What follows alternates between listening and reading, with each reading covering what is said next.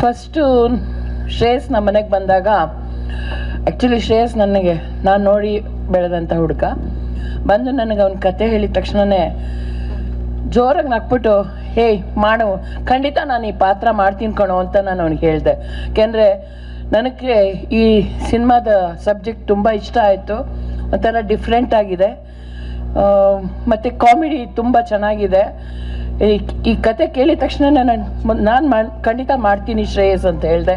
ಮತ್ತು ಶೂಟಿಂಗ್ ಟೈಮಲ್ಲಿ ಅಷ್ಟೇ, ತುಂಬ ಕೂಲಾಗಿ ತುಂಬ ಚೆನ್ನಾಗಿ ಇದನ್ನು ಮಾಡಿದ್ದಾನೆ ನಂಗೆ ಖುಷಿ ಆಗ್ತಿದೆ. ಯಶಸ್ಸು ಕಾಣಲಿ ಅಂತ ನಾನು ಕೇಳ್ಕೊತೀನಿ.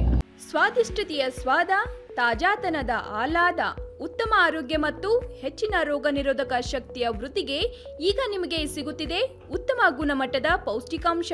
Shri Vaidik millet health mix, ಇದು ಸಿರಿಧಾನ್ಯಗಳ ಸಂಪತ್ತು.